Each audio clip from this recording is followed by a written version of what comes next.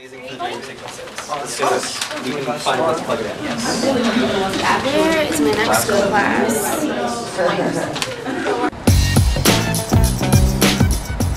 I came to OSU for their Japanese program. My second year, I started taking some classes in biology, and I became really interested in microbiology. This past summer, then I was able to do this really great internship. It was just this great opportunity to bring these two majors together that I thought really didn't have anything in common.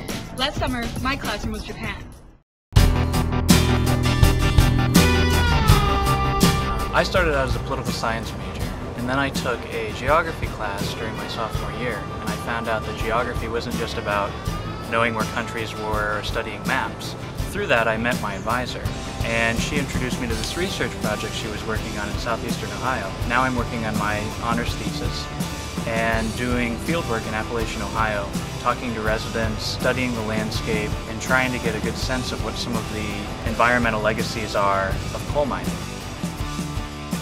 My classroom is in southeastern Ohio.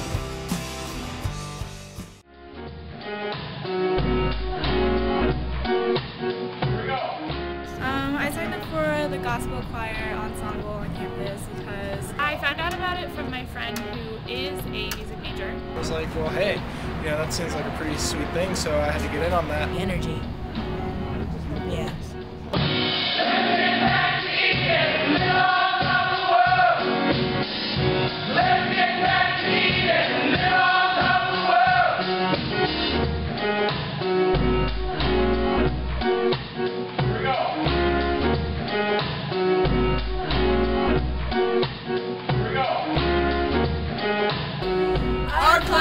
Is The Ohio State University.